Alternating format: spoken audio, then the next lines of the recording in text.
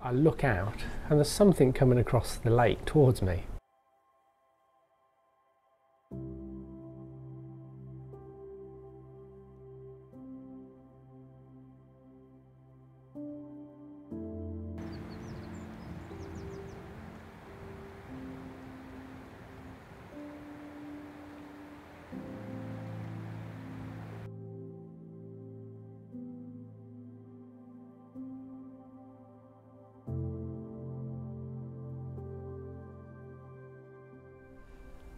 Come to somewhere a little bit different today. Um, come to Rutland Water.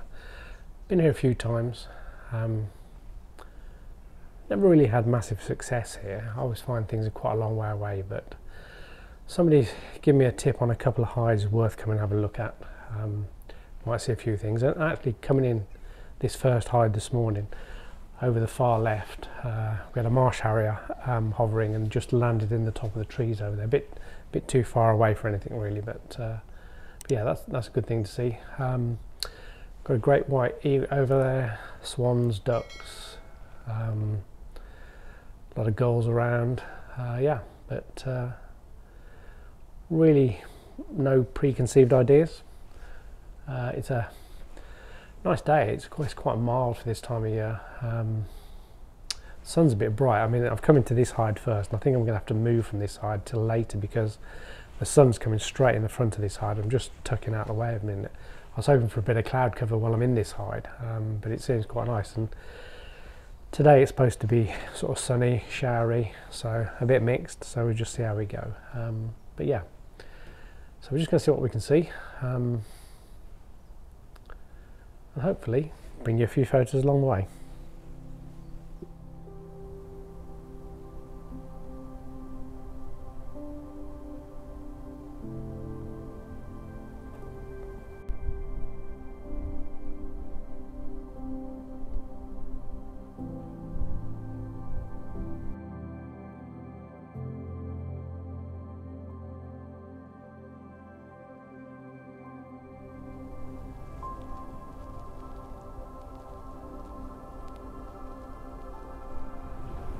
Just got a curlew down here at the moment, uh, just feeding, feeding in the mud, picking up all sorts of things. So got some, I think we've got some nice images of that. So uh, that's quite nice. There's only one of them I can see around. Uh, don't even know where it came from. Just sort of started wandering across the front of the hide and then ended up down the side of the hide. So, uh, so yeah. So that's good. The light is, I mean, the light keeps changing. Really difficult. You can probably see it on my face. It's one minute it's sunny, next minute it's cloudy it's, it's supposed to blow up into a bit of a storm today. It's supposed to get really windy, so I can actually feel it starting to get that way a little bit now. So uh, what it's going to be like later in the day, I don't know. But uh, so we're going to make the most of it at the moment. But yeah, the curlew's just wandering down to the to the shore front again now. So see if we can get a few more images.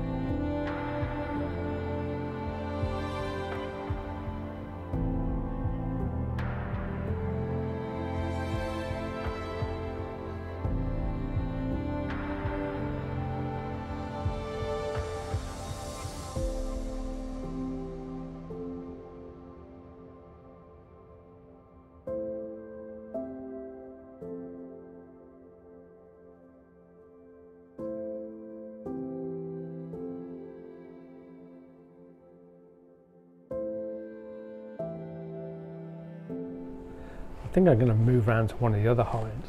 Um, got the curlew out here, so we've got the ducks. I think there's a couple of dunlin out there, uh, oyster catcher. Um, so yeah, I think we've pretty well seen most of the stuff here at the moment. Uh, obviously, you know things will fly in out as the day goes on, but the wind's blowing into this hide, so it's getting a bit rough in here, to be honest. Um, you can actually see across the water. It's really it looks misty, but I think the wind's actually starting to lift the water up a little bit.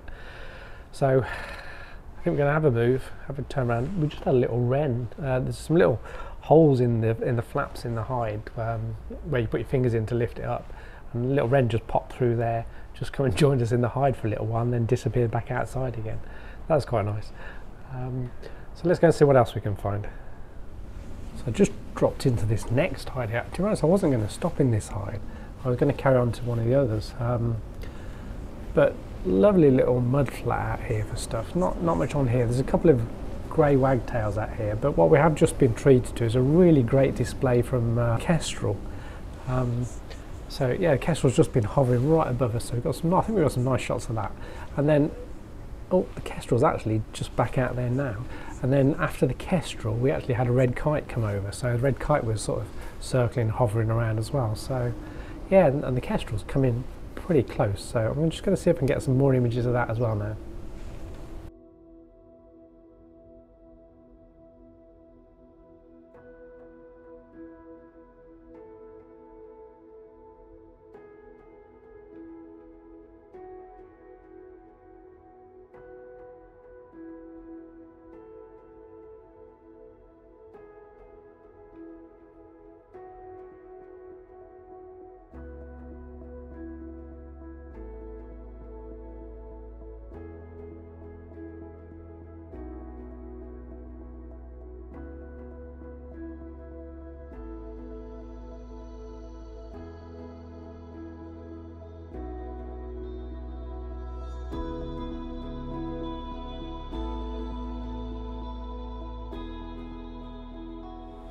Both the Kestrel and the Red Kite have moved off now, so I think, uh, yeah, I think we carry on doing what we're going to do and uh, go and catch up with one of the other hides down there. Um, there's some footprints across here, across the across the mud. I'm not sure what it is. It's, it's I'm guessing it's going to be probably muntjac deer or something like that. Um, but I've been told there's otters around the area as well, so can't tell what they are from here. But um, yeah, just just going across the mud across towards the trees the other side. So yeah, not sure what that is, but uh, yeah, let's go and have a look at one of the other hides.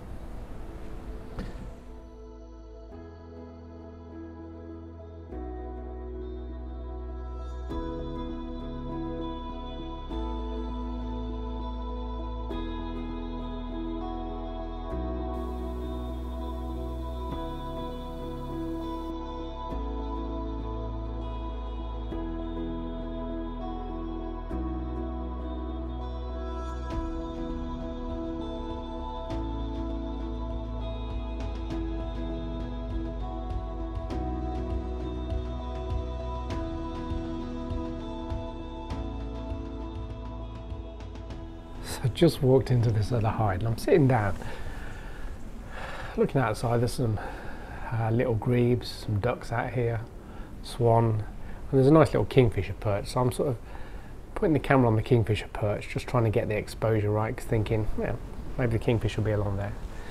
I've just sat down not really settled myself. I look out and there's something coming across the lake towards me and I'm thinking you know what it is? You, you look at it and you think oh what is that and you spend so much time thinking about what is it before you pick the camera up. And then I realised as the duck started to scarper, I picked the camera up, fired off a few shots, and it was a bittern coming straight across towards me. Now, I've not seen many bitterns, I've, i think I've seen one in the past. That one came right across to me.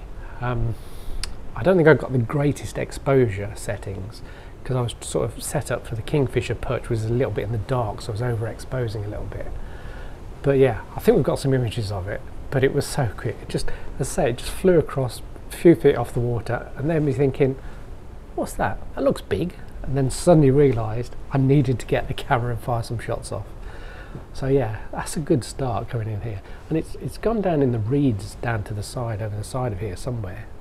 So um, hmm, I'm just going to keep my eye out just in case it works its way across the reeds, through the reeds, around the side. Uh, in case we actually see it coming coming out of the reeds down here somewhere. But yeah, fantastic. Just need a kingfisher now. We're we're, we're sorted for the day.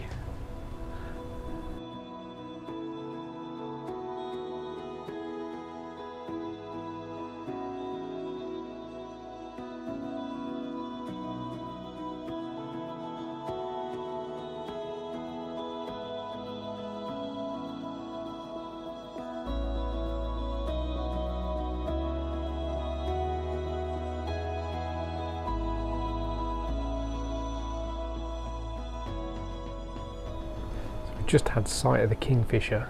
Uh, came from round the corner around there, across, went to land in that tree. So I think it saw a fish and just dived straight down and I think took the fish and then shot straight back again around the corner behind the reeds. Uh, I didn't see it till it was too late really. It was I heard it coming but couldn't spot it and then didn't land on any of the perches where I really wanted to land. So, uh, but that's good that it's actually around. So at least we know there's a kingfisher around. So um, yeah, just need to get some images now. I was too slow. Just had a great little show from a, a flock of teal, I think they were, um, just scooting along the top of the lake. Eventually dropped down into the lake, but uh, yeah, as they were turning, they were really lighting up in the light, really looked good. So that was quite nice to watch. And then I've just been watching a couple of little grebes down here fishing. One of them caught a fish, but I couldn't get a decent shot because it was behind the reeds. Um, so yeah, that was that was nice as well. We've seen the kingfisher go past a couple of times, but just doesn't want to stop anywhere near.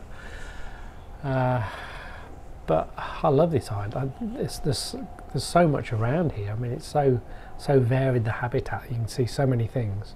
So I'm tempted just to sit here for a, a bit longer yet and uh, and see what turns up really.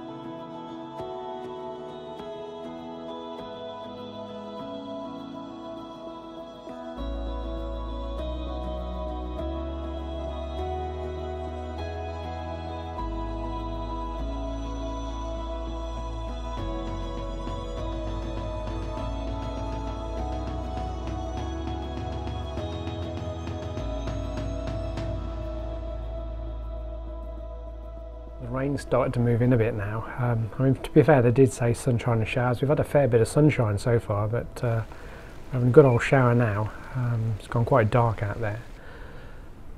But uh, yeah, tucked away in the hide. What better place to be, really? well, we're pretty well pinned down in the hide at the moment. The rain keeps coming. The sun's come out again now, but the rainstorms keep coming, and they're quite heavy when they come down. So, um, but what a better, what a great place to be pinned down. You know, what a better place to be. Uh, we've got a, a, little egret out here. Um, wasn't doing a great deal. I think he was just hunkering down from the rain really. And then we had a, a great white uh, trying to fish out there as well. Nice rainbow appearing again. Um, so yeah, so just been watching whatever's around through the rain really. Uh, I'm hoping to be able to move on somewhere, but I just want to make sure it's not going to keep coming at me at the moment. Uh, I think there's some passing storms and clouds going through, but uh, hopefully they might clear and we can make a bit of a run for it to the next hide.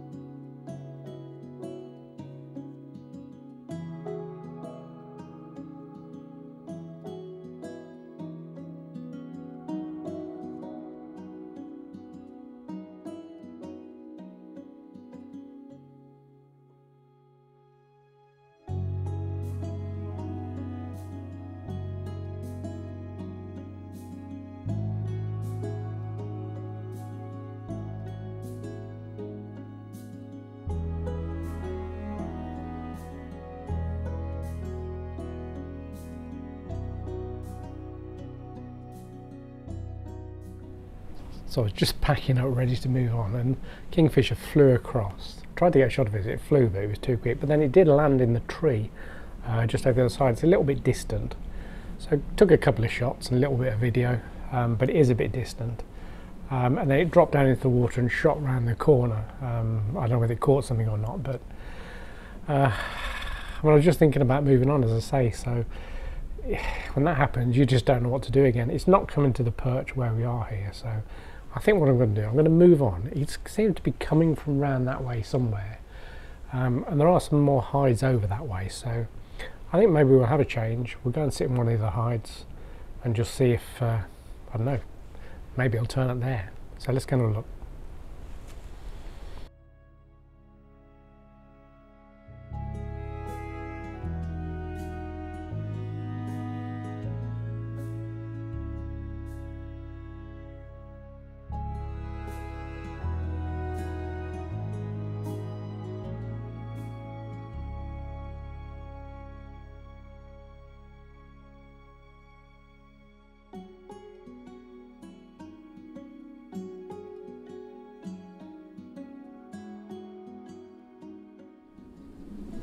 So just before we were leaving the other hide, the kingfisher came back again. Still wouldn't come onto the perch we were watching. Um, but then a couple of people came in, um, so it was a little bit more noisy, so it wasn't wasn't very easy. But did it did go back into the tree and then did a quick flyby. Now, I took some shots as it flew past. I, I don't think I had a high enough shutter speed, so um, it's unlikely we're going to get any decent images. But if there are, obviously you're going to see them. Um, but yeah, nice to see. So I've, I've, just come across now to the next hide, to where I think the kingfish is going around. And as I've as I've got in here, the, the kingfish just come on the reeds over here, but really dark area, so it was really difficult to get any shots. Um, and it's not, I can't see anywhere here where it's actually going to get close.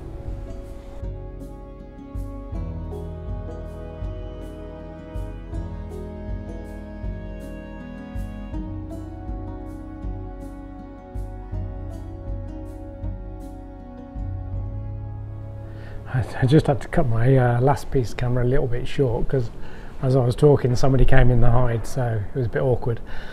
Um, so yeah, so I think what I'm going to do is I'm actually going to finish the video here. Um, it's been a cracking day. I mean we've seen kingfishers, maybe got a couple of shots. The bittern has to be the highlight of the day for me. I've only ever seen a bittern once before and never really got any decent shots. So I'm really fingers crossed that I've got some good images of the bittern. Um, but it's a great place. It is. I mean, I've, I've walked around this place before. I've been to a few of the highs, never really been that. that well, I never thought it was that great, to be honest. Um, but some of the hides I've just been into that I've never been into before, they are cracking hides. And there's some good stuff out there. We saw the curlew first thing this morning. Um, so I'm going to try and make a run for it before the rain comes in again because it looks like it's going to. Uh, I hope you enjoyed the video um, and thanks for watching. Whatever you're doing, have a great day and I'll catch up with you again soon. Bye for now.